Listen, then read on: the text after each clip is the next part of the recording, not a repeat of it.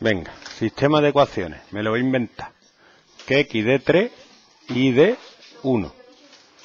Por ejemplo, puedo poner 2x menos y daría 2 por 3, 6, menos 1, 5. Y yo qué sé, 3x más 2y daría 3 por 3, 9, más 2, 11. Ya tengo el sistema preparado. Hala. Y ya sé lo que me tiene que dar y todo. ¿Qué hago? ¿Qué despejo de ahí? La I. Ojo, cuidado, que te he puesto la I con menos para que te des cuenta de una cosa. Que aquí lo óptimo es pasar el 5 aquí restando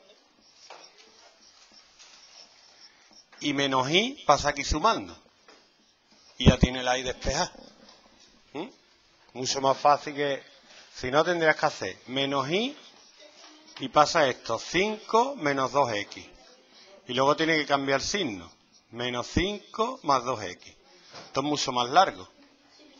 Aquí con un paso que dé, ya lo tiene despejado. Y luego ponerlo bonito. 2x menos 5. Aquí con un paso que da, ya la he hecho. ¿Vale? Muy importante cuando hay un menos delante. Y luego, te queda donde pone i, tienes que poner lo que vale i. 3x más 2 por i, y es 2x menos 5, igual a 11.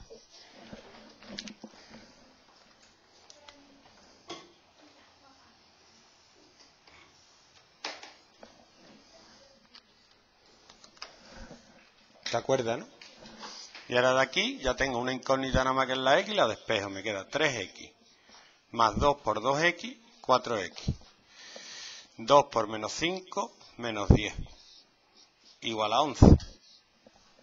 El menos 10 pasa sumando y me queda 3x más 4x, 7x. 7x igual a 11 más 10, que es 21. 7 de x igual a 21.